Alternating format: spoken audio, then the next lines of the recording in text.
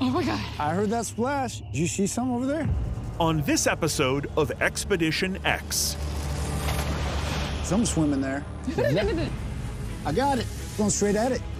we're joined by special guest Rhys Darby I didn't think I would ever see some evidence that made me think it actually is real. to investigate the world's most famous cryptid.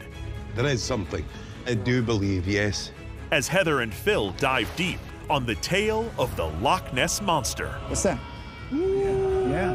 That is big. with shocking new evidence, is the most iconic monster of them all about to be discovered. Oh, well. Phil, you okay? I think I saw something out of the corner of my eye, and it wasn't small. Oh my God.